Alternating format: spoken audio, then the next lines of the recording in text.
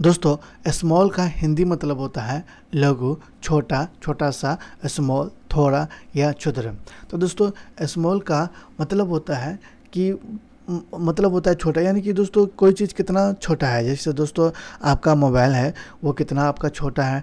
या तो दोस्तों, आप कोई भी चीज़ थोड़ा सा लेते हैं, जैसे कि आप कहीं जाते हैं तो खाने में भी छोटा सा थोड़ा सा ही खाना का यूज़ करते हैं तो उसमें दोस्तों स्मॉल का यूज़ किया जाता है। तो दोस्तों स्मॉल के दो ऐसे सेंटेंस समझते हैं, जो बार बार डेली यूज़ में आता है। दोस्तों फ़र्स्ट सेंटेंस इस प्रकार है it started very small and full of hope दोस्तों जिसका हिंदी मतलब होता है, यह बहुत छोटा और आशा से भरा हुआ हुआ शुरू हुआ। दोस्तों सेकेंड एग्ज़ाम्पल इस प्रकार है what small tattoos are popular among girls. दोस्तों, जिसका हिंदी मतलब होता है, लड़कियों के बीच कौन से छोटे टैटू लोकप्रिय हैं? तो दोस्तों, आज की वीडियो को यहीं समाप्त कर लेते हैं, लेकिन आपको स्मॉल से एक सेंटेंस बनाकर आप हमें कमेंट ज़रूर करें। धन्यवाद दोस्तों।